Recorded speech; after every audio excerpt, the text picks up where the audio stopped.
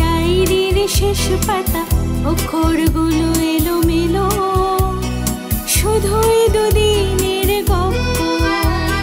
হাসবো খেলব চুপি চুপি বলব।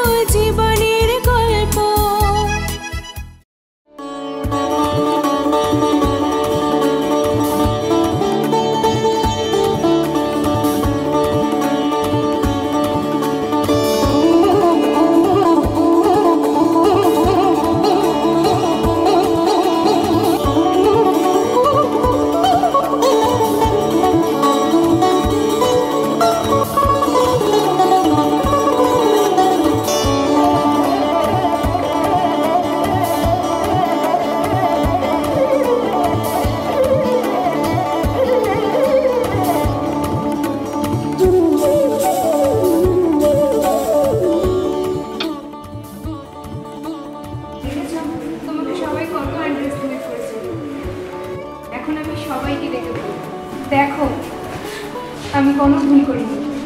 আমার জিতু আমার জন্য সত্যি জিতু আমি না ভাবতেই পারছি না। তোমার বাবার এর থেকে অনেক বেশি আছে। আমার বাবার যা আছে তা বাবার আছে। আমি শুধু জানব আমার জিতু যা আছে তা রক্তে যাবে বুঝলে? তুমি যে বলছিলে তোমার আত্মীয় স্বজন সবার সাথে দেখা করাবে ওরা যদি বলে এতটুকু তুই যেরকম ভাবে মানুষ হয়েছিস থাকতে পারবি? প্রাচুর্য সবসময় ঠাকুর চাকর। নিজে হাতে জল গড়িয়ে খাওয়া তো ছেড়েই দিলাম। মাটিতে পা পর্যন্ত যার পড়ে না। আমি মাটিতে পা ফেলেই হাঁটতে চাই জিতু আমি অনেক বড় হতে চাই। তোমাকে একজন সাকসেসফুল বিজনেসম্যান হিসেবে দেখতে চাই। কিন্তু সেটা মাটিতে পা রেখে। সত্যি সৌমি? হ্যাঁ সৌমিনী না তুমি আমাকে তোমার জন্য নামটা ধরে ডাকো। ওকে মামু। একদম অসভ্যতা নয়। এখন আমরা দুজনে মিলে প্ল্যান করব। কি করে আমাদের ঘরটাকে সাজানো কেমন? সাজানোর অবশ্য তুমি কিছুই বাকি রাখোনি। আমার যা যা ফার্নিচার পছন্দ তুমি সবই অ্যারেঞ্জ করে দিয়েছ। সত্যি জিতু, তুমি যে আমাকে এতটা বোঝো, আমি কোনো দিন জানতেই পারিনি।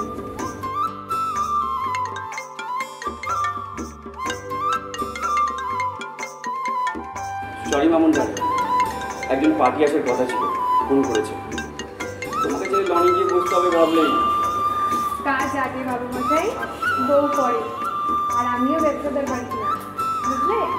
ও তোমাকে একজনের সাথে পরিচয় করিয়ে দেওয়া হবে। রান এই রান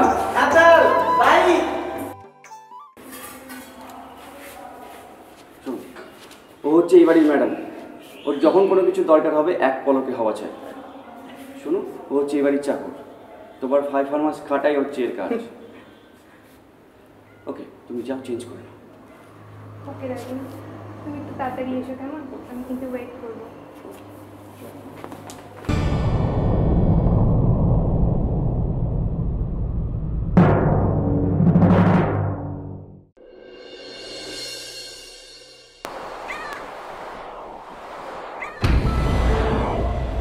কি ব্যাপার?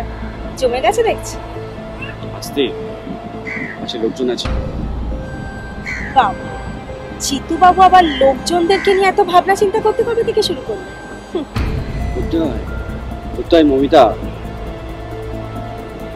চলো এই সমুদ্রটাকে পিছনে রেখে একটা সেলফি তুলি। এখন সেলফি তোলা যাবে না। পাশে লোকজন আছে। বিশ্বাসযোগ্যতা তৈরি করার জন্য যতটা দরকার আমি সব কিছু করেছি। ওর বাবার সব সম্পত্তি না হাতানো আচ্ছা তুমি ওর সঙ্গে রাতে? তোমাকে যখন কথা দিয়েছি তখন কি করে জানব বলো? তুমি যা বলছো তা সত্যি কি না দেখো আমি তো মেয়ে নই যে ভার্জিন কিনা প্রমাণ দিতে পারব। কিন্তু হ্যাঁ তোমাকে যেদিন প্রথম ভালোবেসেছিলাম তখন কি আমি জিজ্ঞেস করেছিলাম তুমি ভার্জিন কিনা? না না আমি তো জাস্ট ইয়ার্কি মারছিলাম। আমি কত খারাপ দেখেছ? থ্যাংক ইউটাও তোমায় জানাতে পারিনি। থ্যাঙ্কস থ্যাঙ্কস কেন? বন্ধু তো বন্ধুকে থ্যাঙ্কস বলে না। তবুও যখন বলছো তখন খুব জানতে ইচ্ছা করছে। থ্যাঙ্কস কেন? তোমার বন্ধুকে বলে বাড়িটা পাইয়ে দেওয়ার জন্য। নাহলে এই প্ল্যানটা কি করে হতো বল? আমি চাই জানো আমরা একসাথে থাকি। কিন্তু কি করব বল? আমাদের কাছে এটাই শান্তি। আমরা একসাথে রয়েছি। ও তোমাকে তো একটা কথা বলাই হয়নি। না না। কাছে যাব না। যা বলার দূর থেকেই বলছি। কি বলব ম্যাডাম? আমাদের যে ওই বালি পাতেতে এতল গাছটা আছে না? এতল গাছ ম্যাডাম এতল গাছ। ওই যে এতল গাছে আতাটা ওই হনুমানটা হাত দিয়ে লেগেছে না? কানি ঠেলে হনুমান তো তাই বুদ্ধি টুদ্ধি একেবারে ও তারপর না তুই করতে গেলে একটা মেয়ে হনুমান এসে দুধলো মেয়ে হনুমানটা আমাদের রান্নাঘর থেকে সবাইকে বের করে দিয়েছে সবাইকে বের করে দিয়ে সবাইকে বের করে দিয়ে না তেতেলের বাদিটা তেতেলের বাদিটা নিয়ে পুল তুলে বলে চলে গেল তারপর তারপর ওই তেল হনুমানটা হাতে তেল মাখা তত্ত্ব তেল মাখায় তত্ত্ব আতা দত্ত তেল মাখায় আতা ওঠে যত তে- ওই তো। যত তেল মাখায় তত আতা ওঠে তারপর দিয়ে ওই ছেলে হনুমানটা। মেয়ে হনুমানটার উপর দিয়ে ফিতা হয়ে গেল না। তারপর তাদেরকে কেউ আলাদা করতে পারেনি। তুই কি করে জানলি? ওইটা ছেলে হনুমান না মেয়ে হনুমান? আমি কেন চিনতে পারব না? আমি যেটা একবার দেখি সেটা সারা জীবন মনে। রাখি না না না না না না আপনি কিন্তু স্যারকে এসব কথা বলবেন না। স্যার কিন্তু জানতে পারলে আবার পিঠের তাল্লা তুলে বেশ বানিয়ে নেবে। আপনি কিন্তু বলবেন না এসব কথা। না না আমি তো স্যারকে কিচ্ছু বলব না। শোন না আমার জন্য একটা চা করে নিয়ে আয় তো। আমি এক্ষুনি এক্ষুনি যাচ্ছি এক্ষুনি যাচ্ছি এক্ষুনি এক্ষুনি তা বানিয়ে নিয়ে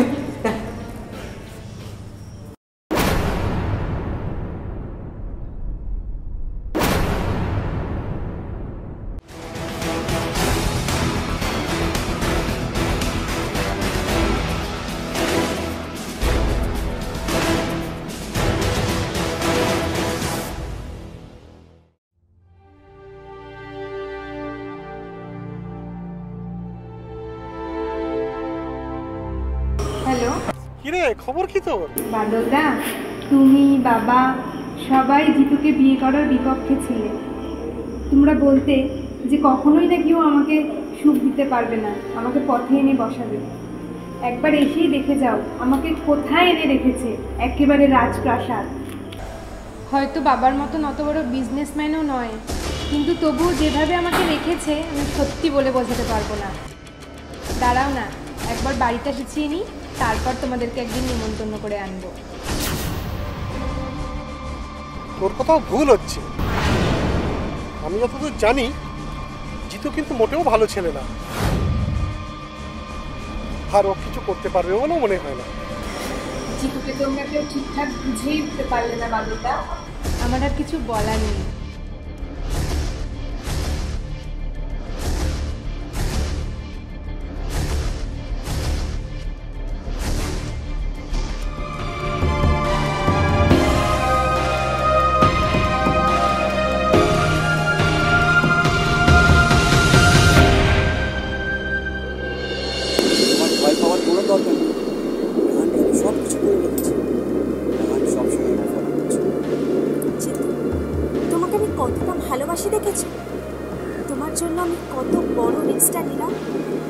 তো আমি জানি। জানি বলেই তোমাকে সব কথা শেয়ার করি। আমি আমাদের ভবিষ্যৎ সেভ করার জন্য সব সময় শিখব। আমি চাই আমাদের একটা সুন্দর সংসার। আমার স্বপ্ন যেন সত্যি হয়। আচ্ছা আমি আসি। এক মিনিট। এই ফাইলটা নাও সই করে আমায় দাও। এসব কেন? আফটার অল আমরা হচ্ছে বিজনেস পার্টনার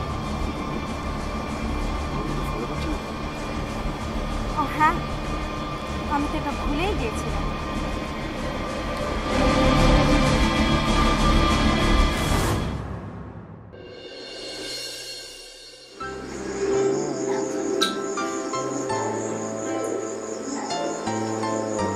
এতদিন ধরে আমরা এই দিনটার অপেক্ষাতেই ছিলাম তাই না জিতু?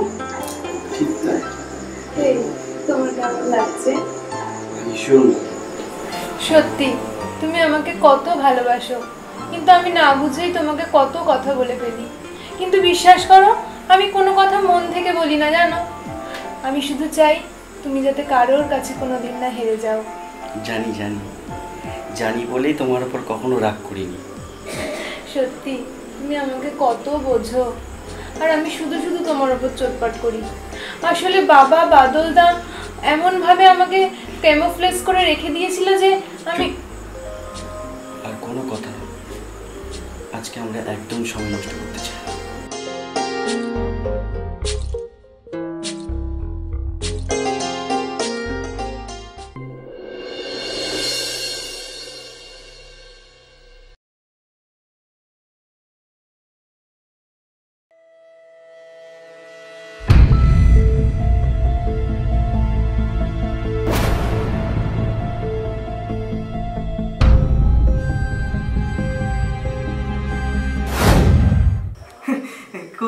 ম্যাডাম। আর বলিস না রে চার পাঁচ দিন এক টানা ঘরে বসে বসে না জাস্ট বোর হয়ে গেছি। তাই ভাবলাম একটু বেরিয়ে আসি। কাল আবার তোর দাদা ফিরবে। তখন তো আর বেরোতে পারব না তাই আর কি। তা কোথায় যাবেন যাব হচ্ছে একটু বাবার বাড়িতে। অনেকদিন হলো বাবার সাথে দেখা হয় না। দেখাও করে আসি আর বলে আসি। যে বাবা তোমরা তো বলেছিলে আমি খুব খারাপ থাকব। দেখো আমি কত ভালো আছি। কি বলিস? হ্যাঁ তা যা আমি যাই আপনার সঙ্গে? ধুর পাগল আমি একাই যেতে পারব। এখানে আমার জন্ম কর্ম তুই কি ভাবছিস? আমি একাই চলে যেতে পারব। আমি সন্ধ্যের আগেই ফিরবো তুই ঠিক টাইমে লাঞ্চটা করে নিস কেমন? হ্যাঁ, তাহলে স্যার যদি ফোন করে তাহলে কি বলব? আমি যা বললাম তুই সেটাই বলবি। ওকে ছাড় আমি ওকে ফোন করে নেব কেমন? আচ্ছা, ঠিক আছে।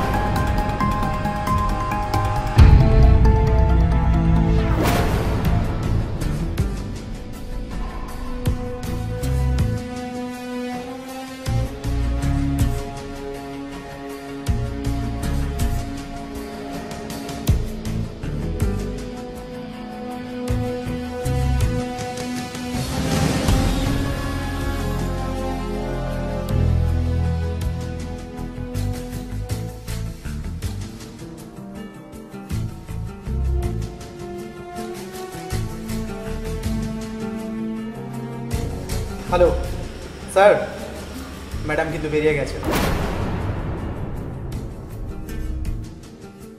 কিন্তু আমি অনেকবার বলেছি, কিন্তু আমার কথা উনি শোনেননি। উনি বললেন, আমি একাই পারব।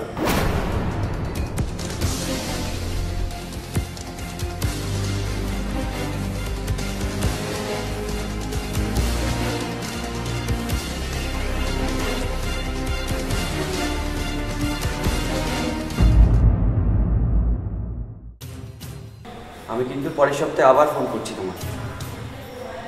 আজ টোয়েন্টি ফিফথ টোয়েন্টি এইটে আমি আবার ফোন করব তোমাকে।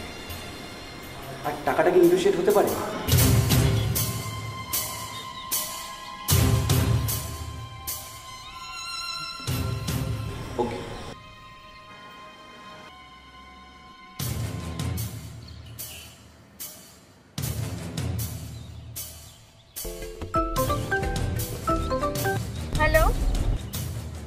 Sorry Mamun darling.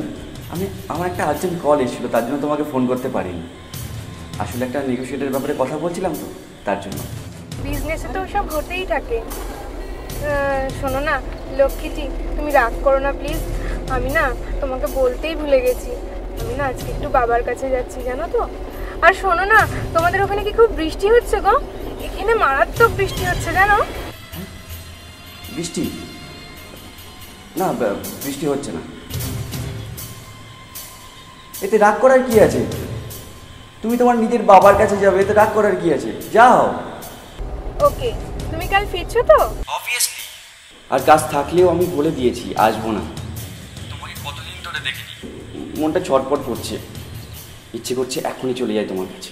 ওরকম অস্থির হয় না শোনা আমারও কি একা একা থাকতে ভালো লাগছে বলো? তুমি সব কাজ কমপ্লিট করে তারপরেই ফিরে এসো। ছাড়ি? আই লাভ ইউ সোনা। কি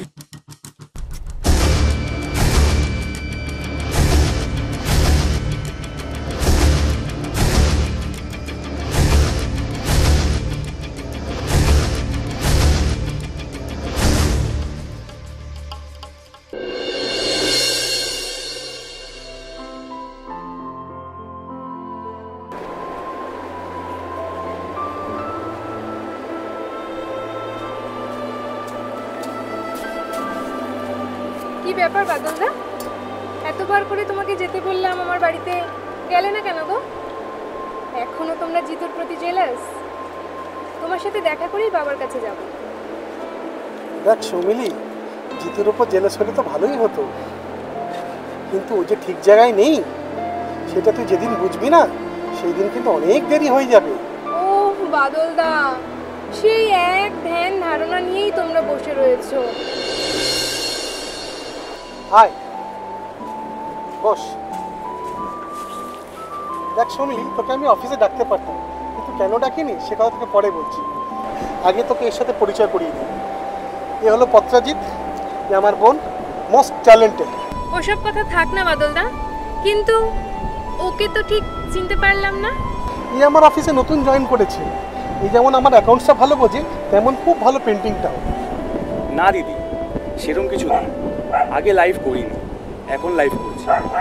বেশ ভালো লাগছে। রঙের মধ্যেই জীবন। তা বেশ ভালো বলেছে। লাইফ বলছিলে? লাইফ মানে কি?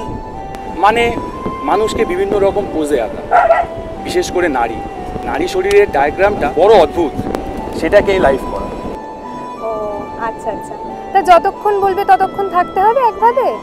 ঘণ্টা ধরে কন্ট্রাক্ট করতে হয় টাকাটা পরিশ্রম অনুযায়ী খুবই সামান্য। খেতে না পেলেও আপনাকে সার্ভিস দিতে দ্বিধা করবে না। ওরা খুব গরিব হয় না? তা তো বটেই। ওসব কথা পরে শুনিস। পত্রাজিৎ তুই এখন অফিসে যা। আমি আসছি। আমি কোথায় আছি কাউকে কিছু বলার দরকার নেই। ঠিক আছে। আসি দিদি। হ্যাঁ। শোন তোকে যে কথাটা বলছি।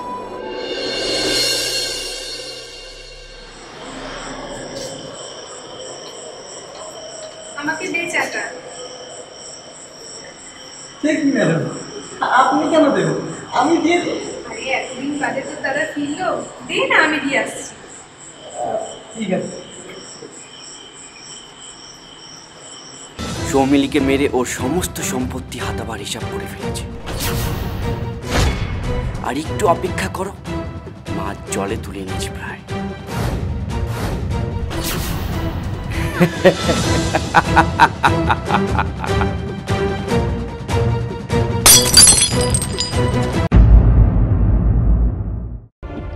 আসলে মানুষ যখন প্রাণপণ বাঁচার চেষ্টা করে না, ঠিক তখন